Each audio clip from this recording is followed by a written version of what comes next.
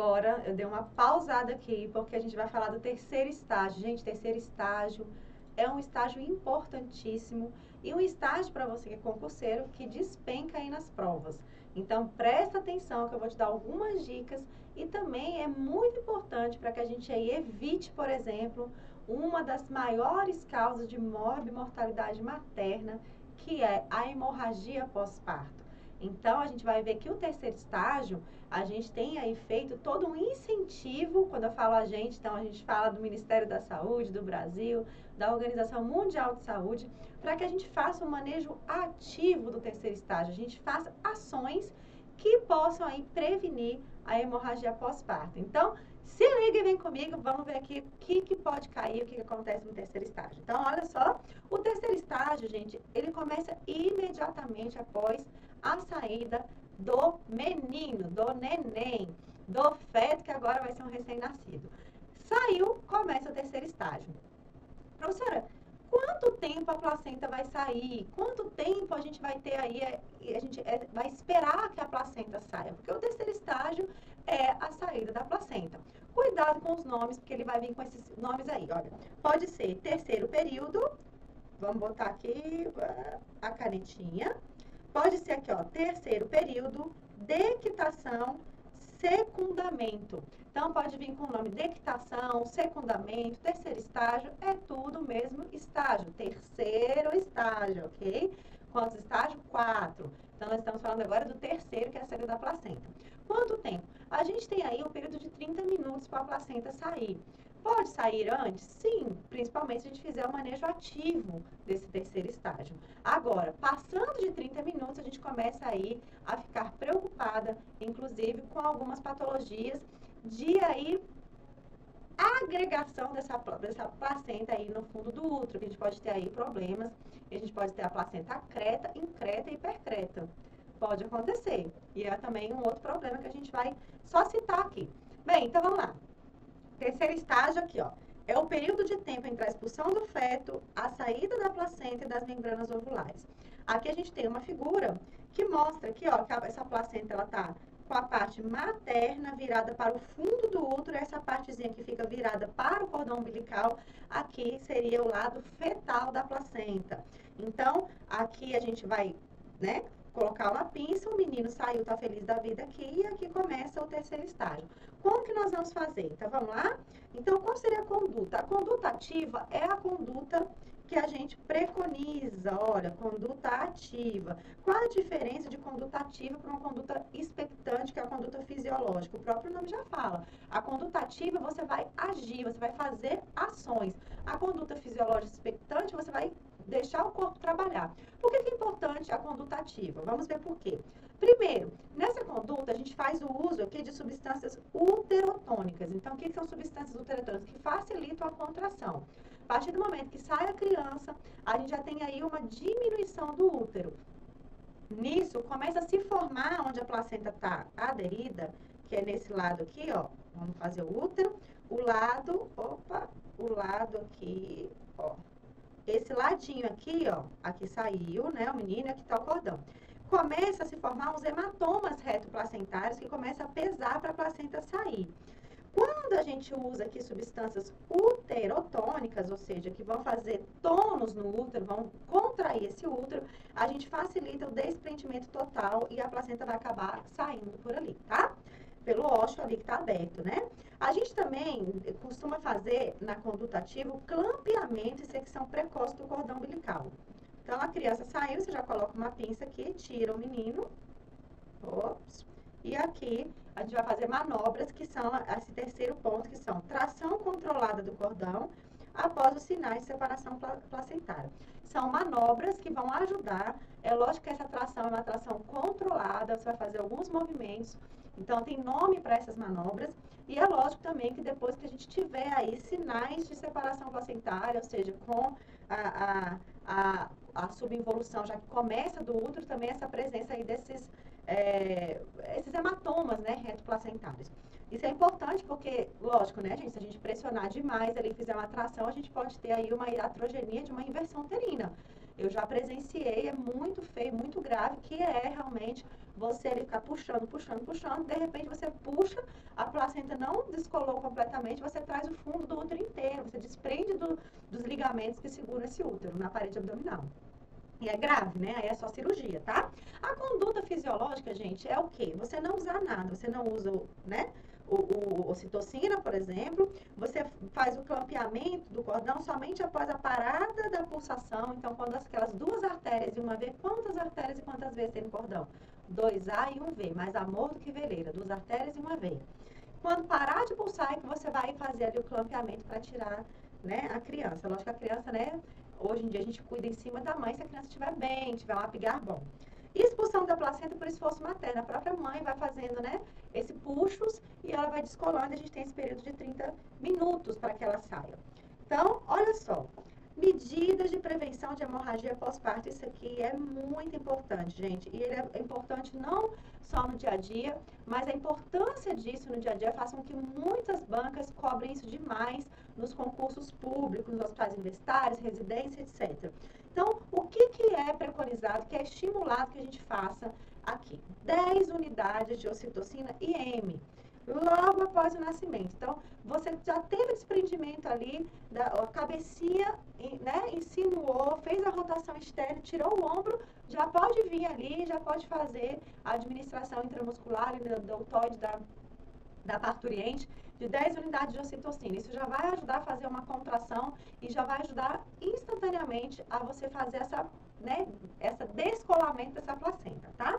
Outra coisa que a gente chama de, como eu já falei também, é o clampeamento oportuno do cordão após um minuto de vida, na ausência de contraindicações. A gente não espera parar, espera um minuto e já faz o clampeamento.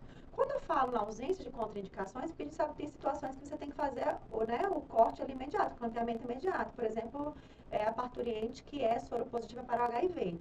A gente já tira, já campeia, já inclusive faz também, já faz o banho na criança, já, ele já vai para o banho imediatamente, né? É, é, uma situação específica. Assim também como a criança que está grave. Se a criança nasceu grave, você tem que fazer o clampeamento até para dar para o neonatologista cuidar, para a enfermeira neonatologista, tá? A tração controlada do cordão, ela é chamada uma manobra de Bright Anders, tá vendo? Ó? E é lógico que é uma tração controlada. É, eu vou colocar aqui uma figura que mostra, né? Você segura o fundo do útero e você vai fazendo essa tração controlada com movimentos circulares de pouca intensidade até que você sinta realmente e vai facilitando esse desprendimento. Massagem, olha lá, ó, vigilância e massagem uterina após a dequitação. Que é essa massagem gentil que a gente vai fazer, o útero automaticamente ele faz um, ali o, ele diminui, então ele vai ali mais ou menos para a altura da linha da cicatriz umbilical e ele fica, né, é, é, mudando de tonicidade de acordo com que é, essa, essa contração uterina vai acontecendo. Vocês vão ver que assim que essa placenta sair completamente, a gente vai formar um globo de segurança, que é o quarto estágio que eu vou falar, que fica bem durinho, fica parecendo uma bola de tênis. Então, importante saber de quanto quanto tempo eu faço. Quanto tempo? Aqui, ó, 15 minutos nas primeiras duas horas após a saída da placenta, que aí já vai entrar no quarto estágio.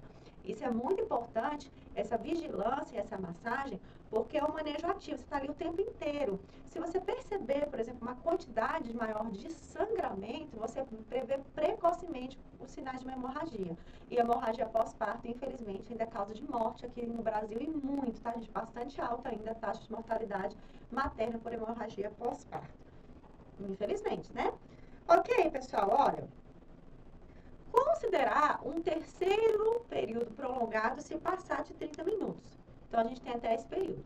A conduta ativa é recomendada na assistência ao terceiro período do parto, pois está associada lá o menor risco. Então, quem recomenda? O Ministério da Saúde, Organização Mundial de Saúde, né, as associações né, de obstetrícia, como a própria Benfo, tá?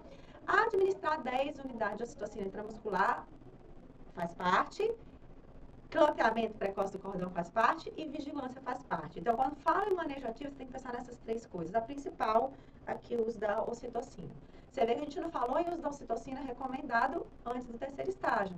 Com trabalho de parto, a gente vai fazer o uso da ocitocina se a gente tiver uma indicação clínica obstétrica. Aqui não, aqui é uma recomendação de prevenção. Entende a diferença, né? Ah lá, Brasil 2017, nossa referência nacional aqui para isso. Condutas, então, após a administração de ocitocina, pensar e seccionar o cordão.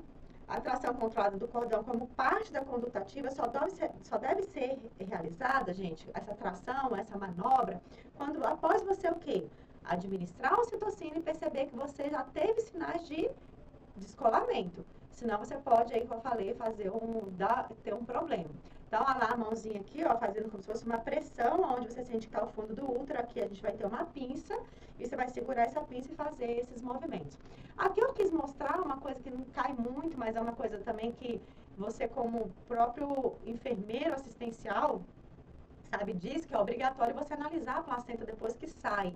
Essa placenta, quando ela está, por exemplo, aderida no fundo do útero, que é o caso dessa aqui, geralmente quando ela cai, o peso dela faz com que ela saia pelo lado fetal, que é esse lado aqui, ó. Tá vendo? Esse lado aqui é o lado fetal. Né? Esse lado que está grudado aqui no fundo do útero é o lado materno da placenta. Então, quando ela sai pelo lado fetal, que é aquele lado meio azulado, que é o lado que está o cordão umbilical, a gente chama que ela foi desprendida através de um mecanismo fisiológico chamado de Baudelock-Stuse. E assim, a maioria é esse procedimento, ela sai pelo lado fetal. Aí depois você vai virar, você vai pegar a membrana, né? Você vai virar pelo lado materno, que parece um fígado, né? Você vai ver ali algumas calcificações, dependendo da maturação, ou se a pessoa né, fumava, se tem mais calcificações. Ela parece ali uns gominhos, né? Bem avermelhado. É o lado materno. O lado fetal é o lado brilhoso. Geralmente ela sai pelo lado fetal, porque ela geralmente está no fundo do útero. Baldelox Stuse, eu costumo brincar para vocês de, decorarem, S de Stuse, S de quase sempre, né? Eu colo sempre, mas quase sempre. Quando a placenta é lateral, aqui, ó, tá vendo? É lateral aqui, ó, tá vendo? Ó, quando você, ela pode acontecer que na hora de desprender, ela vai desprendendo e ela cai por aqui. E ela sai pelo lado materno. Então, a saída, ela está pelo lado materno. Vem aquele lado vermelho primeiro. Quando ela sai pelo lado materno, a gente chama de processo fisiológico Baudelot Duca. Duca difícil, D difícil acontecer. Na prova, esses choose sempre D difícil. Então, você vai lembrar mais ou menos dessa figurinha aí, tá bom? Ok? Posso mostrar para vocês, então, aqui uma foto da manobra de Andrews. Aqui, ó, a manobra da tração controlada. Então, a gente vai através da pinça. Aqui já estava saindo, né? A gente sente o peso, então aqui ela, ele só fez aqui, ó, levantou aqui a pinça, mas aqui a manobra que a gente, né, faz aqui a pressão no fundo e vai fazendo tração controlada abaixo com a pinça, tá? Aqui é um Baldelock, né, Stuse, que a, aqui ó, Baldelock Stuse, que a placenta saiu pelo lado fetal, esse lado brilhoso, né? Aqui dá para ver bem, tá vendo? Ó, pelo lado azulado, brilhoso. Então, isso aqui é o que geralmente acontece quando as placentas estão aí no, no fundo do útero, né? A própria gravidade ajuda a sair por esse lado. Assim que a placenta se apresenta pelo introito vaginal, solicita que a mulher exerça uma pressão abdominal para que saia. Ela tem vontade de fazer essa pressão, até por causa daquela questão que te falei no parto, né? Aí é um é peso ali saindo pelos terminais né, da, do, das conduções nervosas da própria vulva. Após o término da dequitação, deve-se revisar o canal de parto para a gente ver se teve alguma laceração, isso é muito importante. Uma das causas de hemorragia pós-parto é lacerações que você não consegue identificar. Então, a revisão do canal vaginal, da vulva, do é obrigatória. Assim também como a avaliação também, né, gente, da própria placenta, como eu já falei, porque se tiver faltando um pedaço, quer dizer que ficou lá em cima. Então, se ficar resto placentário, pode dar infecção pós-parto. E também é obrigatório, né? Aqui, ó, a avaliação do tônus uterino. Isso é crucial. O que é o tônus? A pressão, a contração desse útero. O útero que não contrai é um útero que vai sangrar.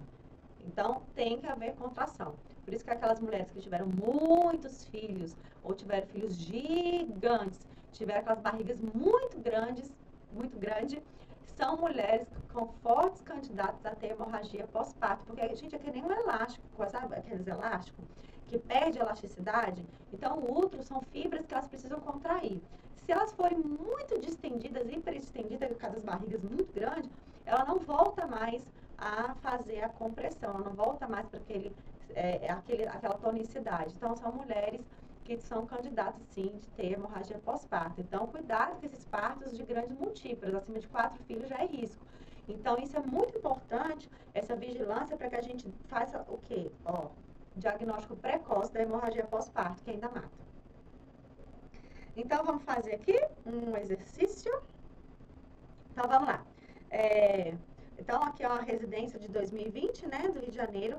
Entre as medidas de prevenção à hemorragia pós-parto a serem adotadas no terceiro período do parto, destaque-se o manejo ativo. Então, ele falou aqui da hemorragia pós-parto e o manejo ativo, cujos componentes dessa conduta obstétrica são contato pele a pele, além de Zé, falou hemorragia pós-parto, manejo ativo, são aquelas três coisinhas que a gente falou, vamos ver se você vai lembrar aqui, tá bom? Então, vamos lá. O uso da ocitocina para as mulheres com médio e alto risco para hemorragia pós-parto. Gente, aqui já tem um erro. O uso da ocitocina para todas as mulheres, inclusive as mulheres de baixo risco que fazem, por exemplo, até partos domiciliares, partos em centros de parto, todas. O manejo ativo é indicado para todas, não é só para mulheres de risco, tá? Então já está errado tá? Clampeamento oportuno do cordão, tudo bem. Tração controlada do cordão, também, né? Massagem uterina é, é vigilância e massagem, né? Então, as duas coisas a cada 15 minutos, nas primeiras duas horas, tá certo, tá? Mas a gente poderia acrescentar vigilância aqui também. Uso da ocitocina para as mulheres com médio e alto risco. Mesma coisa aqui, ó, tá? Tá? É todas, todas. Clampeamento oportuno, sim. Verificação do tônus e massagem a cada 15 minutos, nas primeiras duas horas, tá certo? As primeiras duas horas, tá? Uso universal de ocitocina. Ah, agora sim. Universal, todas. Claveamento oportuno do cordão, tração controlada, verificação do tônus a cada 15 minutos. Tá certo. Uso universal de ocitocina, tração controlada do cordão, massagem uterina a cada 15 minutos, nas primeiras duas horas. Aqui o gabarito considerado foi a letra C, porque ele colocou aí a verificação do tônus. O certo seria até as duas coisas juntos, né, gente? Seria a massagem e a verificação do tônus, as duas coisas ao mesmo tempo. Aqui, a banca considerou certa a C, daria até um recurso. Mas é lógico, se você faz vigilância, ou seja, verificação, você vai estar fazendo também aí, a, a, avaliando a necessidade da massagem. O certo seria as duas coisas, massagem e vigilância. Você está fazendo a massagem, está fazendo a vigilância mas né, caberia um recurso porque é uma coisa mais de, de português, ou qual seria mais completo? Seria que tivesse as duas coisas, vigilância e massagem. Mas é aqueles considerados gabarito letra C de casa, ok? Principalmente, as três coisas que você vai lembrar quando fala manejo ativo são isso: uso da ocitocina, clampeamento e vigilância e massagem, tração controlada do cordão, tá? Vamos mais uma, então? O terceiro período do trabalho de parto caracteriza-se por terceiro período, você vai pensar, quantos estágios tem um trabalho de parto? Você viu que aqui veio com a palavra período, pode vir estágio ou período, mesma coisa. Você vai lembrar, qual o primeiro? Dilatação e apagamento. Apagamento e dilatação. Qual o segundo? Expulsivo, período expulsivo. Qual o terceiro? Dequitação, secundamento, né? Mesma coisa. E o quarto, período de Greenberg. Terceiro, terceiro estágio, então, ele é o quê? Então, vamos lá dequitação de pequeno volume. Dequitação, verdade, tá? Se viesse secundamento, também.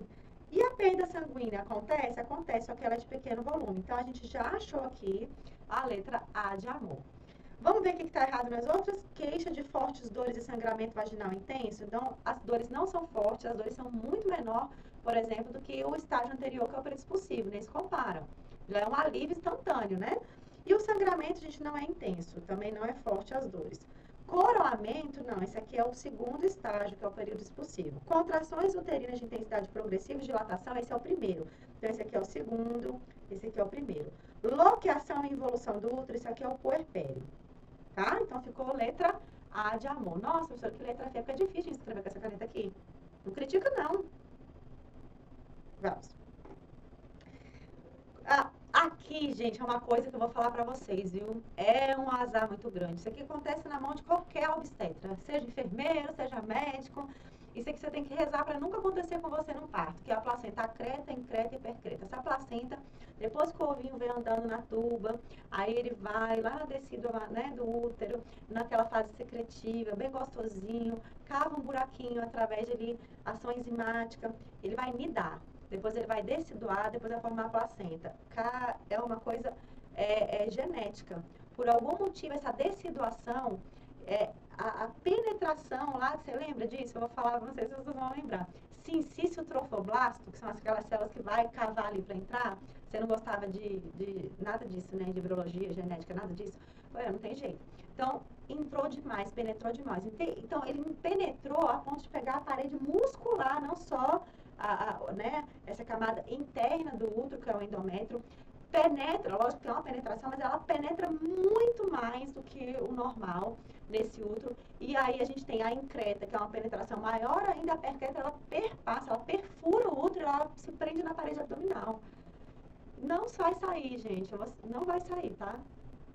A placenta creta pode, a gente consegue tirar, né, fazendo uma cureta ali para raspar, a placenta increta e percreta, infelizmente, é assim, não, nem, não tem outra saída, assim, é a esterectomia.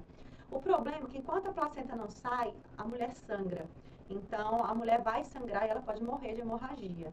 A gente começa a perceber, quando a gente vê que não tem sinais de descolamento, a placenta não desgruda de jeito nenhum, passa 30 minutos, ela não vai desgrudar. E aí não tem o que fazer. Isso pode acontecer no parto, por exemplo, você fez um parto lindo, dentro de um domicílio, chega no terceiro estágio, a placenta não sai. Então, é encaminhar essa mulher para o centro cirúrgico, não tem o que fazer, não é porque você foi enfermeira, poderia acontecer na mão de qualquer pessoa, tá? Infelizmente, então a gente tem que torcer para que isso não aconteça, tá? Aqui a gente está mostrando só para vocês verem direitinho, então, o que seria esse clampeamento, então, algumas, algumas correntes, né, defende aí o, o pensamento após parar a pulsação dessas artérias e veias que estão aqui, da artéria, né, que é a artéria que vai pulsar, as duas artérias, e o manejo ativo fala que no primeiro minuto a gente já faz aí, tá? Aqui, né, então, põe uma pinça aqui, põe uma pinça aqui e você corta aqui. O bebezinho que tá bem, a gente já cuida em cima da mãe, o que ele tem aqui é só um pouquinho, ó, de acrocianose, cianose de extremidade, mas um bebê que provavelmente ganhou nota 9, 10, chorando, ativo, você pode ver que tá só pela foto você vê que ele tá, né, com, com o pezinho, o joelhinho fletido, então provavelmente um, um neném que ganhou nota boa, ó, tá vendo? Ganhou uma nota boa e chorando, né, meu Deus do céu. E a gente já faz todo esse cuidado em cima da mãe mesmo, seja o enfermeiro, o enfermeiro neonatologista, ou o próprio obstetra, né, ou pediatra, onde você estiver. E aí o manejo ativo, a gente faz esse cuidado, fazer esse clampeamento desse cordão aí no primeiro minuto, né, não precisar esperar para parar os batimentos. Tudo bem, gente? Vocês gostaram do terceiro Vocês gostaram? Tá? Cuidado com algumas coisinhas. Quando perguntarem para você o que é descolamento prematuro de placenta, não, pelo amor de Deus, não, não pense em relação à idade gestacional. Eu lembro disso que caiu, inclusive, essa questão em vários concursos para enfermeiro, para médicos, e muitos profissionais erram. Então, uma peguinha tá? Ah, o descolamento prematuro de placenta é o descolamento da placenta antes de 37 semanas. Não tem nada a ver com a idade, então tem a ver com a ordem, a gente tem que obedecer essa ordem. O primeiro estágio, a gente vai ter apagamento e dilatação. O segundo estágio, a gente vai ter período de expulsão, ou seja, a saída do menino. O terceiro estágio, a gente vai ter a saída da placenta, que seria a dequitação. O quarto estágio, que eu vou falar agora, é o quarto estágio, que é chamado quarto estágio, ou o período de Greenberg, tá? Greenberg, tá? O que, que é descolamento prematuro de placenta? Isso aqui, ó. E quando a placenta, ela vem pra cá, ó. A placenta, ela sai antes do menino. Se sair tudo, pior ainda. Aí a criança vai sofrer, pode morrer intraútero. Se descolar um pouquinho, já é descolamento prematuro. Então, descolou pouco, descolou muito, é descolamento prematuro, porque a placenta não pode descolar antes de sair o menino. Mais grave quanto mais descolar. Ok? Vamos ver o período de Greenberg? Posso continuar? Então, vamos lá. Período de Greenberg, né? É a primeira hora após o pós-parto ou primeiro ou quarto período ou período de Greenberg. Pode vir com todos esses nomes. Quarto período, primeira hora, período de Greenberg. Tem alguns... É, alguns autores que consideram, consideram inclusive duas horas do pós-parto, né, mas não é, eu estou usando a bibliografia né, da, da, da, do Ministério da Saúde, tá? Mas você pode ver, às vezes, o Resende, tem que ver o NEM, que, que pode usar, ter uma diferençazinha de uma para duas horas, tá? O que é importante saber é que nessa primeira hora, a gente não vai mandar a mulher e o neném, que é o binômio, para a maternidade, para o alojamento conjunto, ela ainda fica no céu. O centro obstétrico, ele é é, a emergência né, da obstetrícia. Então, é uma mulher que precisa de vigilância, ela acabou de parir, e a gente ainda pode ter hemorragia nesse período. Então, a gente não manda ela para alojamento conjunto, onde a gente tem até as mulheres ficam o quê? Escondidinho nas enfermarias, com a porta fechada, a gente tem que ainda avaliar a estabilização dessa mulher. Por isso que ela fica no CO. Então, esse período ela vai ficar ainda lá, ela não vai. E é um período de vigilância intensa. A gente vai avaliar ainda a cada 15 minutos sinais vitais, massagem uterina, tônus muscular, tudo isso. Então, a primeira hora após a expulsão da placenta, tá? Bebezinho com ela, tá, gente? Bebezinho com ela, às vezes, lógico, a gente vai, vai fazer os cuidados, né? Fazer todos os cuidados, mas o tempo todo a gente é, estimula aí é, e com certeza o aleitamento precoce, né? Quanto mais rápido, mais precoce o aleitamento, maior o sucesso desse aleitamento, inclusive ajuda na evolução uterina. Então, vamos ver aqui, ó. No quarto período, realizar as seguintes observações da mulher. Temperatura, pulso e pressão arterial. Ó, até uma hora e após seis horas. Então, a gente vai verificar, vocês vão ver que sinais vitais, os, todos os sinais vitais, a primeira hora a cada 15 minutos. Mas a gente ainda vai ficar verificando depois, tá? Esses sinais vitais. A temperatura, ela aumenta um pouco, o pulso também, e depois vai estabilizando, tá? O sangramento é importante, a altura de fundo de útero e as contrações uterinas. Então, a altura de fundo de útero é um parâmetro muito importante no período de Greenberg. Então, o útero, ele fica na altura da cicatriz umbilical e a contração também é importante. Ele fica com um tônus, como se fosse uma bolinha de tênis. Então, a gente fala sobre a questão do globo de segurança de Pinart, né? Olha só o nome, gente, globo, que é uma bola, de segurança, porque a segurança, quando você tem essa bolinha durinha, é uma segurança para a mulher que o útero está bem contraído. Por isso que o nome é globo de segurança. Ou seja, quando a gente sente ele ali, a gente, ai, graças a Deus, tá com globo de segurança. Pinardes, ligaduras vivas de Pinard, né, que a gente chama ali da, de, de toda a estrutura anatômica do útero, né? Então a gente chama de globo de segurança das ligaduras vivas de Pinard. Então, a gente examina, lógico, a placenta, a placenta saiu, a gente vai avaliar se ficou alguma coisa, avaliação das condições também emocionais da mulher, ou seja, logo após né, o parto.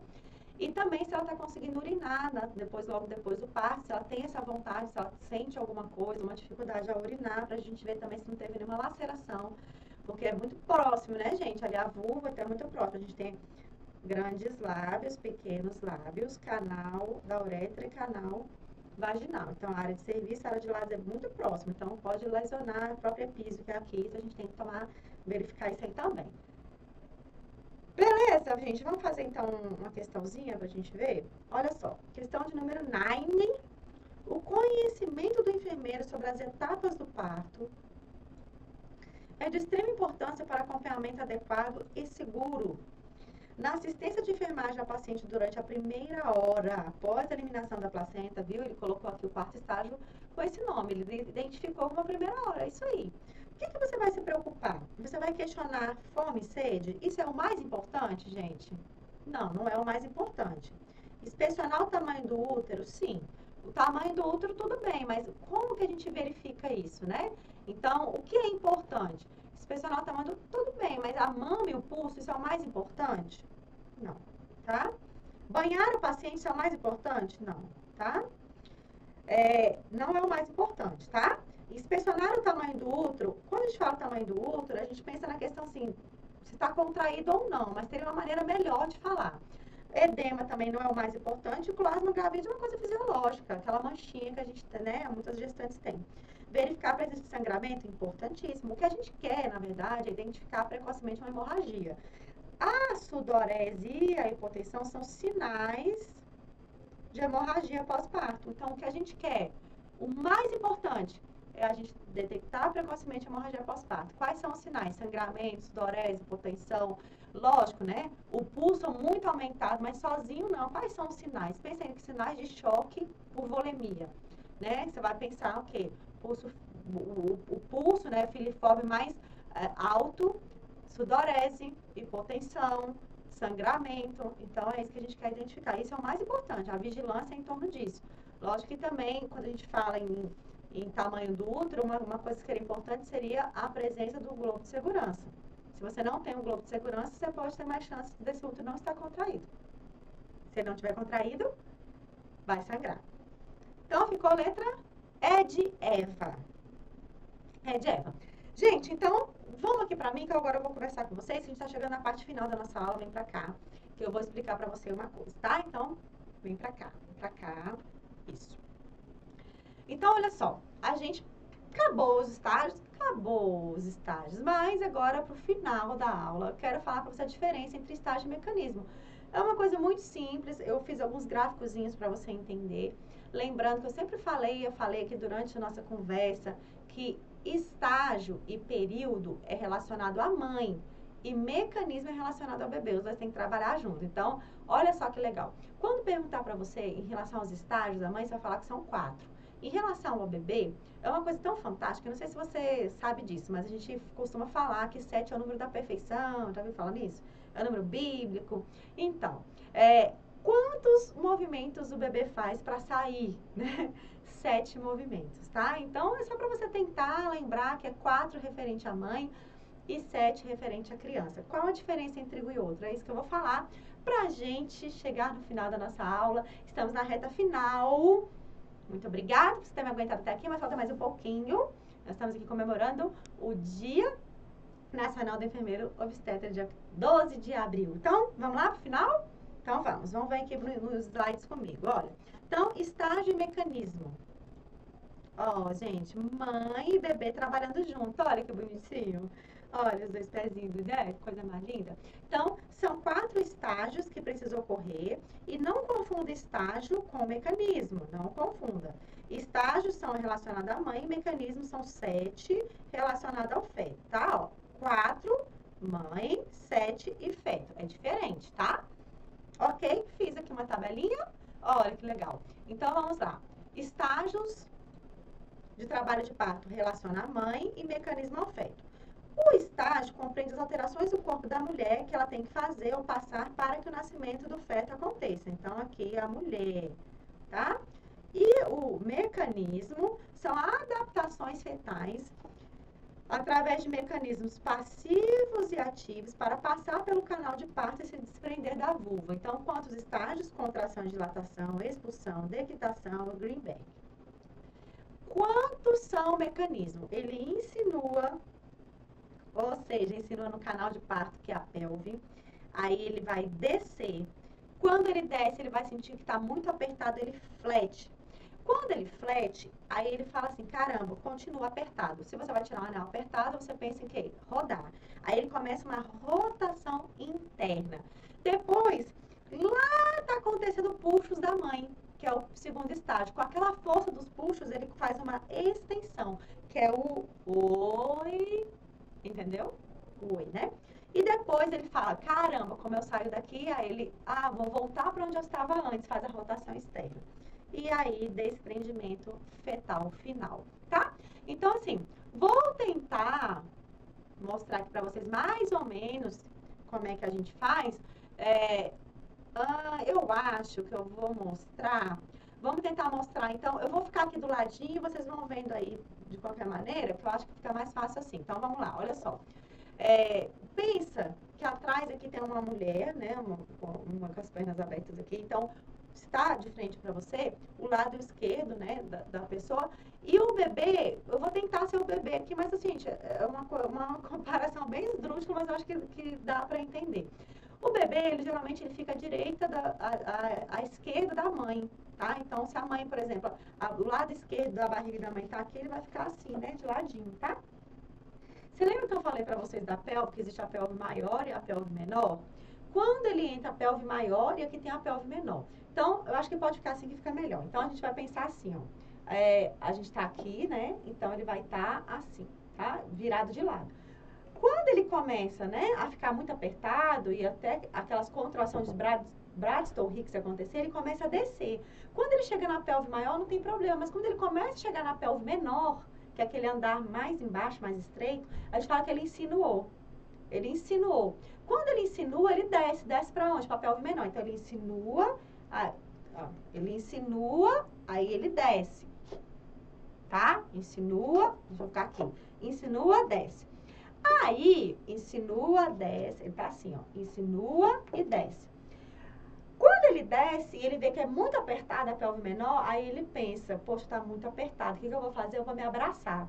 Aí ele põe o queixo aqui, abraça aqui, ó, e fica bem mais apertado, beleza? Aí ele faz isso. E aí ele fala assim, caramba, ainda continua apertado. Porque, concorda comigo que o menino sai de lado? Todo mundo já viu um parto, gente. O menino sai assim, ó. De lado não, ele sai assim, ó, com a cabeça assim. Então, ele tá aqui de lado. Ok? Ok. Insinua, ó. Insinua, desce, flat. Apertou. Tá muito apertado. Aí ele pensa, vou girar. Vou girar. E ele sempre gira à direita do seu eixo. Então, se o ombro direito tá aqui, ele começa a girar. Ele faz assim. Gira, gira. Aí ele vem girando. O trabalho de parto tá, tá lá, mulher. Contração, contração, dilatação, contração. Nisso vai empurrando, ele vai girando.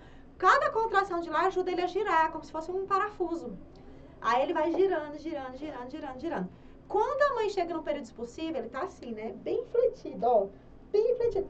A mãe começa a fazer puxos. Começa a fazer puxos, ele começa... Caramba, gente, estão me empurrando mais ainda. Aí ele tá bem fletido ali. Estão me empurrando. Só mais um aí. Quando a mãe faz aquele puxos mesmo aí... Aí ele, ó... Oi. Extensão. Aí, extensão. Extensão do quê? Pescoço do feto. Não é mecanismo do feto. Não, é, não, é, não são, né? É isso. São movimentos. Oi. Aí ele, caramba, agora meu ombro tá preso. Aí ele pensa, vou rodar. Você lembra que ele vai rodar para onde ele estava antes? Ele não estava assim? Ele vai rodar para o mesmo local que ele estava. É uma coisa que parece que ele nasce programada. Aí ele, ó, tu, tu, tu, tu, tu roda para onde ele estava antes. Não estava assim antes? Aí ele tira esse ombro de baixo depois o de cima. Entenderam? Então tá. Volta o slide que eu vou fazer do lado vocês vão falando. Ó, vamos lá? Tava assim, ó. Insinuação, descida. Flexão. Rotação interna. Extensão. Rotação externa e desprendimento. Ah, mulher, que eu, que eu trouxe minha nenenzinha, aquela bonequinha, que era mais fácil fazer com a bonequinha. Mas espero que dê para você entender. Só cuidado com essas ordens. As, tudo tem que acontecer sincronizadamente para tudo dar certo. Tá? Vamos ver se você acertaria? Entenderam? Vamos lá. Questão de número 10, olha só. A sequência correta dos períodos clínicos parto. Aqui já vem a dica, gente, quando você vê período você relaciona a mãe, período estágio. Aí você fala aqui, ó, isso é relacionado à mãe e são quatro. Porque aí você já não se complica. Você vai ver que às vezes ele mistura ou os períodos entre eles, mudando a ordem, ou ele mistura período com mecanismo, ah, para te confundir, né? Bem, o primeiro período da expulsão é a saída, depois da saída da placenta? Não, gente, tá errado. Primeiro período da dectação é a saída da placenta? Gente, já viu que tá errado no primeiro e tem certeza? Nem vai pro segundo, tá? Assim, nem lê tudo pra você não ficar perdendo tempo na prova e se confundir. Período de Greenberg, que é o último? Não. Bem, vamos lá. Dilatação é o primeiro, pode vir com período ativo, dilatação e apagamento, tá? Beleza. Expulsão, que é a saída do menino. Depois dectação, que é a saída da placenta. Depois período de Greenberg ou uma hora. Letra D de Daisy. Isso. Aqui ele colocou o último período primeiro, então já estaria errado. Tá? Fácil essa, né? Fácil depois, né, gente? Depois que você lembrou, que você viu, que eu falei mil vezes, né? né que eu falei que... Né, tá bom. Ó. Estágio versus mecanismo. Eu falo de novo que eu sou chata mesmo. Então, ó, quatro estágios relacionados à mãe, sete mecanismos relacionados ao bebê. Não é possível que você não vai lembrar disso de tanto que eu falei, porque eu sou chata mesmo. Aqui eu falo de novo. então, olha lá, estágio relacionado à mãe, aqui bonitinho. Tive o trabalho de mostrar aí, ó, na ordem, né? Primeiro, contração, que vai gerar apagamento, apagamento e dilatação. Principal é dilatação, é lógico que para você dilatar, você tem que apagar. As duas coisas acontecem. O é, né? Depois, saída da criança, expulsão, depois dectação, Greenberg ou quarto estágio. Cuidado com o período expulsivo, porque o período de equitação pode vir também como secundamento ou terceiro estágio, tá? E aqui também fiz um outro slide bonitinho, ó, só para você ter aí, né, aí ó, os sete, né, insinua, Olha lá, insinua, desce, flat, roda, estende, roda, sai. É? Gostou? Não vou fazer de novo não, tá? E aqui é pra gente acabar só algumas fotos.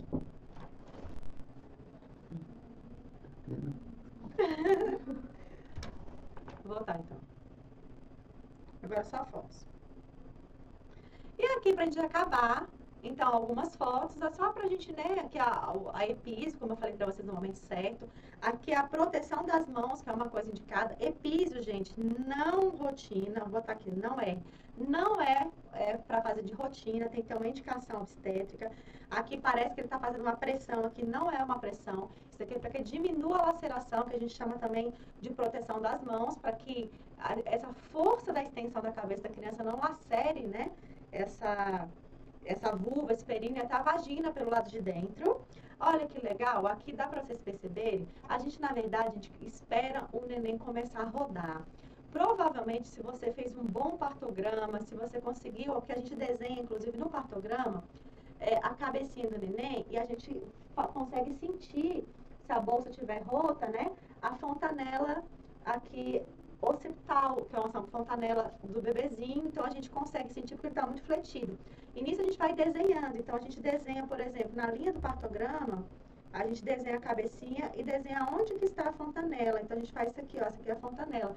Conforme o neném vai girando, a gente vai desenhando para onde que a fontanela está, tá? Então a gente vai girando. Então a gente já imagina se a criança, por exemplo, ela está tendo algum cicletismo errado, se ela vai nascer, da, né? E para onde ela está girando? A direita do seu eixo, que é a maioria das vezes, ou a esquerda. Nesse momento aqui, você não deve fazer pressão. Se você fizer pressão ou fizer força e o neném girar para o lado errado, você pode aí é, ter, criar uma situação aí de atrogenia. Então a gente tem aí problemas, né? Ou seja, você roda a criança para o lado errado, dá problema no ombro, clavícula da criança pode até fraturar. Então, deixa a criança rodar, você vai ajudar. Aqui ela começou o mecanismo de, ó, de rotação externa, então ela está girando. Se a gente perceber aqui, ó, o lado esquerdo da mulher está aqui, então geralmente o dorso da criança, que é aqui as costinhas, está para o lado esquerdo, então ela vai fazer a rotação para esse lado, tá? Aqui fica, dá para ver bem direitinho, ó. Aqui é o começo do giro, você pode ver que ela só está aqui, ó, esperando. Tá vendo que aqui ela girou, aqui a rotação externa completa rotação externa. Então, girou completamente, ela fica transversa ali, o, o, a face né, da criança, ela fica transversa. Isso aqui ela faz para poder desprender o ombro. Então, assim que a criança né, gira, ela faz para desprender o ombro. É o momento que a gente pode ajudar com mais um puxo da mãe. O puxo da mãe vai ajudar, depois da rotação externa, a tirar né, o ombro anterior e o ombro, ombro anterior, que a gente puxa, faz um movimento um pouquinho para baixo, depois a gente faz um movimento para cima, para tirar o outro, tá bom? Aqui eu achei interessante essa imagem, que essa imagem, essa imagem aqui não é minha, mas essa imagem eu achei interessante, que essa imagem mostra a rotação externa pela metade, pela metade assim, a extensão e a rotação externa, né? Pegou aí a, a metade, ele tirou, já, saiu um pouquinho a cabeça e já começou a rodar. Tá bom, gente? Então, vamos aqui. Aqui, ó, para a última questão que eu queria mostrar aqui, muitas vezes aí eles misturam. O CESP aí é danado para misturar mecanismo com estágio, estágio com mecanismo. E eu trouxe esse exemplo para vocês. Então, ó, o mecanismo do parto é uma série de movimentos que referem à modificação da postura do feto. Aqui ele já até traz o que, que é. Então, mecanismo, se eu fosse, né, tivesse fazer essa prova, já colocaria aqui feto e sete, para lembrar que são sete relacionados ao feto. À medida que ele se adapta no canal do parto, com base nessas informações, é, julgue os próximos itens. Então, aqui ele vai julgar certo e errado. Vamos lá? Aqui, ó. Decida insinuação, extensão, rotação interna, flexão, rotação externa e expulsão são, respectivamente, os mecanismos de adaptação do feto. Ele mudou a ordem. Se a gente fosse pensar na ordem, então seria insinuação, descida, flexão, rotação interna, extensão, rotação externa e expulsão. Se a gente for pensar respectivamente, então seria aqui letra E. Então, ele não colocou na ordem correta. Ok, pessoal, olha aqui pra mim. Deixa eu ver se você está aí ainda, tá? Está? Está. Deixa eu só... Opa! Ó, chegamos no final. Ah, chegamos no final. Eu quero só lembrar aqui para vocês da que existe a lei do acompanhante, né? E que existe também as doulas. Então, estamos chegando no finalzinho, achei que tinha acabado aqui, mas vamos só para esse slide aqui final, ó, vamos colocar isso aqui, ó. Isso, ó. Então, trabalho de parto, vamos lembrar que também existem as doulas, as doulas são mulheres, pessoas, não precisa ser mulher, mas são aí pessoas que são preparadas para atuar fazendo manobras facilitadoras do parto. E aí, manobras que não só facilitam o parto, mas também trazem o controle da dor, tá? Não é uma profissional é, que tenha que fazer uma graduação X com a pós-graduação, mas é um curso bem né, é, detalhado. Você pode ter mulheres aí, inclusive, da própria comunidade que, que já eram parteiras, né? Aquelas parteiras antigas que agora são doulas. Lei do acompanhante existe, vale, e infelizmente a gente não vê muitas vezes ser colocado em prática, mas é direito da mulher. Dá uma olhadinha também depois nas recomendações para parto normal da Organização Mundial de Saúde de 96, a gente tem a atualizada, né, a de 2018, e a gente sempre tem aí novas recomendações falando que muda, que não muda, quais são as técnicas de controle da dor, o que não deve ser feito, o que deve ser feito, é dividido em categorias A, B, C, D, tá? É bom você dar uma olhada. E é isso, gente. Olha aqui, eu coloquei pra vocês aqui, lembrando, tá? Aí é o meu zap zap. Olha, gente, meu zap, tá? Eu eu posso demorar um pouquinho a responder, porque esse aqui é meu telefone pessoal, eu não consigo ter dois telefones. Eu respondo sim, tá? Mas manda um áudio, que eu mando um áudio para você quando eu parar no sinal vermelho, quando estiver engarrafado, principalmente, porque o melhor lugar para a gente colocar em dia as mensagens é no trânsito. Não, a gente não faz isso, mas acontece, né? Tá? Me siga também desde Amarelo Oficial, é o, o canal. Gente, eu, tô, eu tenho um canal. Eu esqueço de falar que eu tenho um canal, mas é bom o canal, porque a gente põe muita coisa no canal, dica. A gente fala também sobre as coisas da mulher, da enfermagem, é, dia a dia da gente, como mulher, como mãe. Vai lá dar uma olhadinha. Tem, inclusive, um dia lá que que chama, chama vlog, um de vlog que você faz um dia do que você gosta de fazer, o seu dia a dia, né? Aí tem um dia lá que a gente foi jogar vôlei, a gente gravou, muito legal, você vai ver que eu jogo vôlei bem, tá bom? E vai lá, vai lá, vai lá, vai lá, curte, compartilha, não é, não é no canal não, né, Davi? Curte, é do canal? Curte, compartilha, é Instagram também, né? Tá, curte, compartilha, comenta, dá seu like, sua estrelinha, sei lá como é que é. Tá bom, menina? E me siga aí nos lugares lá, ó, Facebook tal e tal. E muito obrigada, foi muito bom estar com você, brincar com você, deixar correr solto que a gente quiser. Pode me chamar, que eu sou facinha. Eu venho sempre que vocês me chamarem. É, tá muito difícil, não é fácil, né? Eu estou aqui numa difícil missão, mas a missão mais honrada da minha vida, que é representar uma categoria que eu tenho muito orgulho de fazer parte, eu sempre quis ser enfermeira. Eu sou enfermeira e você sempre enfermeira. Eu tenho muito orgulho disso. A enfermagem deu tudo aquilo que eu tenho e que eu precisei na minha vida, deu muito mais do que eu pensava, imaginava e sonhava.